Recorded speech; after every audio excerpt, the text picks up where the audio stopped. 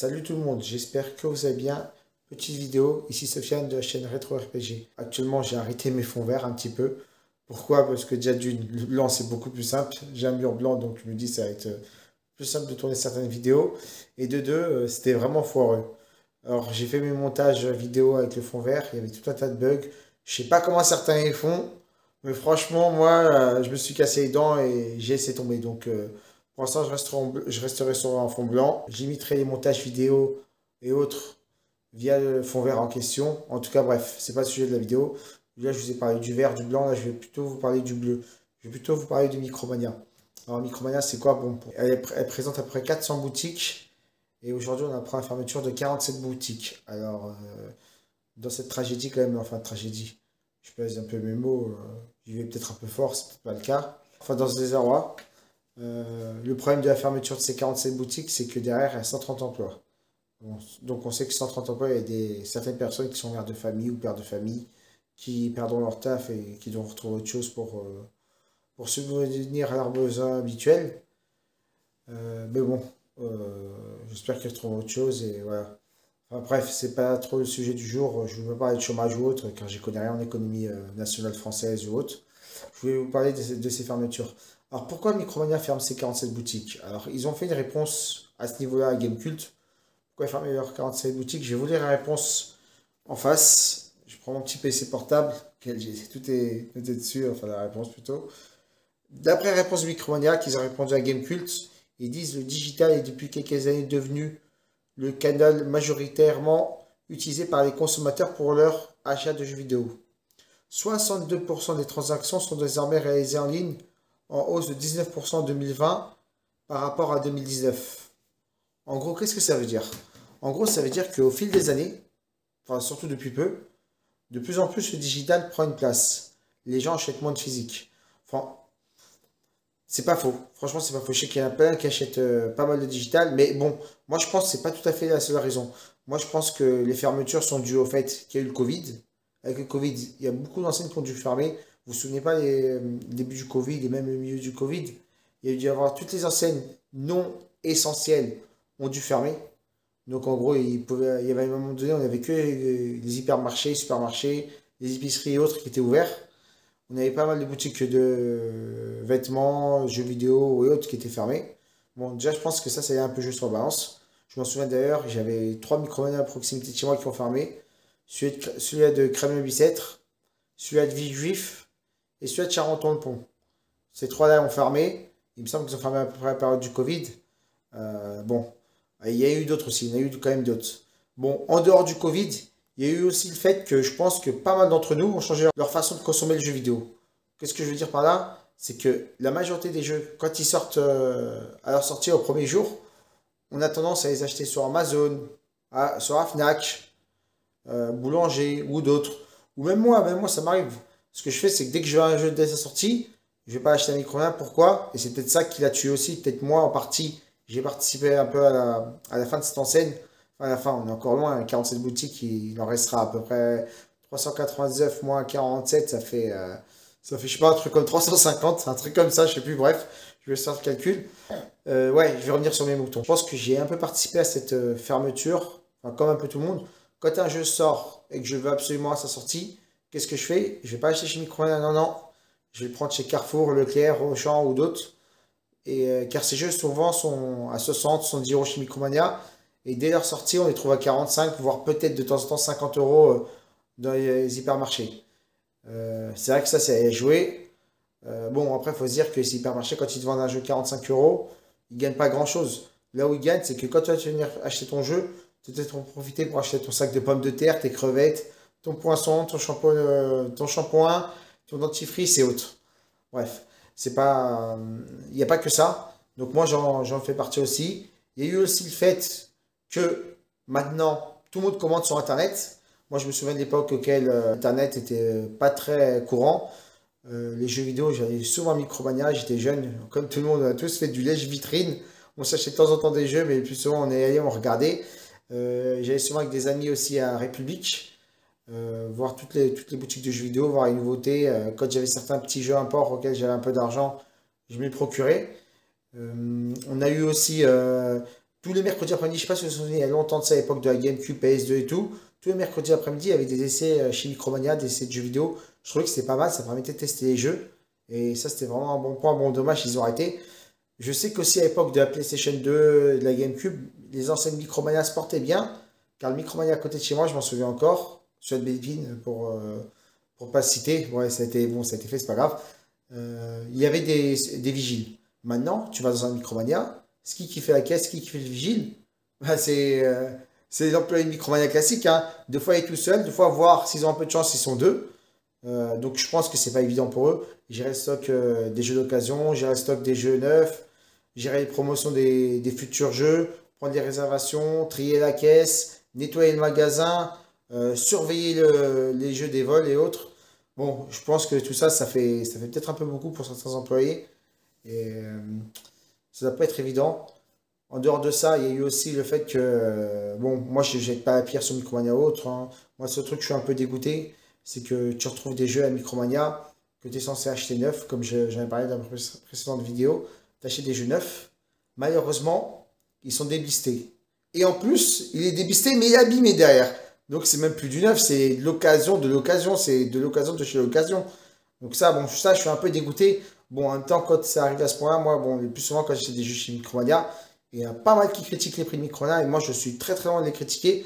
Pourquoi? Parce que je sais très bien que quand Micromania sort un jeu, contrairement à Carrefour, champ Haute, euh, lui, il gagne, le magasin gagne, euh, gagne sa vie sur le jeu vidéo. Alors que Carrefour et autres, comme j'ai expliqué juste avant, vendent le jeu peut-être pas très cher, mais il se rattrape sur les produits de nécessité que vous allez faire, euh, que vous allez acheter en même temps que vous achetez votre jeu. Ce qui est dommage, ce qui est dommage à Micromania, c'est que c'est vrai que certains jeux sont chers. Bon, c'est pas de leur faute. Ils font face à une concurrence féroce entre les grandes enseignes, les sites comme Amazon, Fnac et autres. Euh, je parle même pas de Vinted, Le Bon Coin, euh, euh, tout ça, eBay et tout. c'est vrai que c'est pas évident. Bon, après, faut, faut le dire aussi, c'est que contrairement à Carrefour, ou même à Leclerc, moi j'ai un Leclerc à proximité de chez moi, c'est une franchise. Attends, stoppé, tu retrouves des jeux PS3 à 30, 40 euros. Mais attends, c'est quoi le délire là? Mais franchement, là, c'est abusé là. Euh, alors que Micromania, l'avantage de Micromania, c'est que quand les jeux, plus il y a de l'âge, plus le prix est baissé. Bon, bien sûr, je vais pas parler de certains jeux rétro gaming euh, comme Pokémon ou autres qui prennent de la valeur même chez Micromania, mais certains jeux, si tu n'achètes pas Day One, tu achètes peut-être 6 mois après, le jeu il revient peut-être à moitié prix, voire deux fois tu achètes certains jeux à 5, 10 euros. Donc voilà, franchement, à ce niveau-là, je trouve quand même des très bons tarifs et je suis un peu dégoûté que plusieurs anciennes fermes aujourd'hui. J'ai appris euh, récemment par euh, le biais d'un ami à moi qui habite sur euh, la région d'Orléans que le microman de Chessy va fermer. Je trouve ça un peu dommage. Bon, moi, j'y allais pas trop souvent parce que peu de fois que je vais à Orléans, je vais à Microman de temps en temps, mais soit de Saran, je vais rarement soit de. Mais voilà, quoi, c'est une pierre qui s'efface de l'édifice ou l'édifice qui s'efface de la pierre. Je sais plus en quel sens on dit ça, mais c'est pas grave. En tout cas, je pense que le, truc, c'est qu'il y a 47 enseignes qui ferment. À mon avis, ça va continuer à fermer. Pourtant, en 2017, ils avaient racheté Zing. Zing est une boutique euh, spécialisée dans tout ce qui est goodies, peluches, euh, figurines et autres, de dérivés de jeux vidéo ou manga. Malgré ça, ça a tendance à, à marcher de moins en moins bien. Bah, je pense que vous avez tous connu aussi Score Game. Score Game, c'était la boutique, enfin c'était le concurrent de Micromania principalement. Moi, je sais qu'à proximité de chez moi, j'allais souvent au, au Score Game et au. Je crois que c'était Maxi Game. Il me semble que c'était Maxi Game à Anthony. J'achetais de temps en temps mes jeux là-bas, PS1 et autres. C'est vrai que même quand j'allais, comme je vous disais j'allais à République, je pense que même déjà un peu à l'époque de la PlayStation 1, moi-même, j'ai participé un peu à la fermeture de certains magasins. Pourquoi? Parce que déjà, depuis la PlayStation 1, et comme certains, et ça faut pas le mentir, il y en a pas mal d'entre vous, je sais que c'est comme ça, les jeux PlayStation 1 on, a tous, on est tous partis, on a, on a tous mis une puce sur le PlayStation 1, on a tous tourné sur Emule euh, et autres euh, torrent et tout pour télécharger ces jeux PlayStation 1. J'ai eu pas mal de jeux gravés. Bon, en contrepartie, quand le jeu me plaisait, me plaisait j'ai acheté en physique et en réel car j'aime bien voir les boîtes, les jaquettes et autres. Mais bon, je me rappelle qu'à République, j'allais à la République, plus loin je marchais un peu à pied, j'ai un magasin, je ne sais pas si certains se souviennent d'entre vous, c'était Kunzi un peu plus loin vers Voltaire. Lui, euh, ce magasin a proposé des puces PlayStation 1, montées et autres. Je crois que j'avais payé ça, il me semble, 30 euros. J'ai ramené la PlayStation 1, il m'a mis à puce, il m'a monté, et hop, je suis rentré chez moi.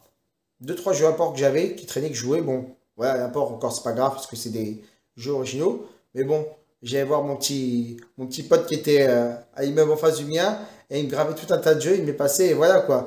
Ça, déjà, même à l'époque, on y a tous un petit peu participé. Pourquoi? Parce que euh, l'époque de la PlayStation il y a pas mal de jeux qui ont eu, il y a pas mal de gens, excusez-moi, qui ont eu leurs euh, jeux gravés, qui ont eu des jeux gravés, qui ont acheté très peu de jeux. Euh, ça a été le cas aussi, je pense, avec la PS2 pour certains. Ça a été le cas aussi avec la PlayStation 3 quand elle a été piratable. Bon, après, au fil du temps, c'est devenu de plus en plus dur à pirater les consoles, sauf bien sûr les consoles portables qui, étaient, qui elles, étaient un peu.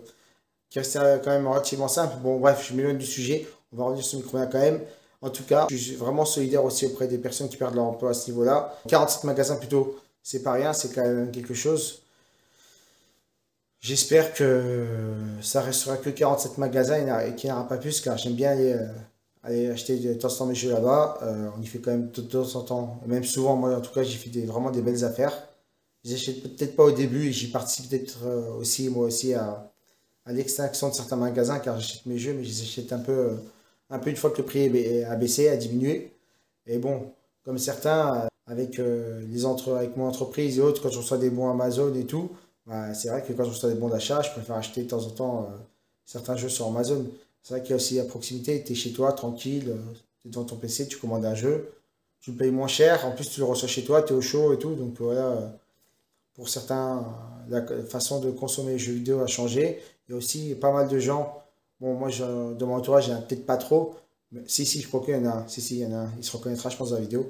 Mais euh, il y a pas mal de gens qui achètent en dématérialisé. Moi, c'est pas du tout mon cas. J'ai acheté quelques gens dématérialisés, mais très peu pour moi. Franchement, le dématérialisé, je vous dis la vérité, ça reste à vous, mais autant pirater sa console. Si c'est pour acheter dématérialisé et pas avoir physique, je me dis, euh, autant euh, pirater sa console et télécharger les jeux. Bref, après, ça tue l'industrie, ça c'est sûr. C'est peut-être pas la chose à faire. En tout cas, je suis dégoûté un peu que le physique disparaisse. Et c'est peut-être pour ça qu'aussi, au fur et à mesure, les magasins, les boutiques euh, de jeux vidéo disparaissent. Il reste encore quelques boutiques indées qui essaient de rester tant bien que mal. Euh, chapeau à eux, bravo, parce que je pense que c'est pas évident avec les grandes surfaces, euh, les sites web, les sites d'annonces d'occasion et autres. Ça va pas être évident. Mais courage, en tout cas, pour, pour cette vidéo. Bien d'écouter que 47 magasins ferment. Je sais pas s'il y en aura à proximité de chez moi. Si certains ont la liste, euh, je serais bien tenté de le savoir. Je sais qu'il y, a, une Microman Chelsea dans 45 qui, lui, euh, ferme ses portes. À part celui-là, je n'en ai pas d'autres. Bon, après, ceux, que je, ceux à proximité de chez moi, j'ai l'impression qu'ils marchent plutôt bien. Celui de Bélépine, par exemple, de Thier Bélépine. J'ai l'impression qu'il y a quand même du monde, donc euh, je me dis, bon, ça m'étonnerait qu'ils ferment. Après, peut-être que d'autres magasins, d'autres centres commerciaux fermeront, ça, je sais pas. Bref, en tout cas, j'espère que la vidéo t'a plu. Si tu as des questions autres, n'hésite pas à les commenter. Si la vidéo t'a plu, bien sûr, tu me lâches un pouce bleu. Eh, n'oublie pas, frère, le pouce bleu. Hein. Faut lâcher le pouce bleu. Hein. Abonne-toi. Je te dis à très bientôt. En tout cas, bonne journée, bonne soirée, bon week-end. Je sais pas à quel moment tu regardes cette vidéo, mais ciao, à bientôt.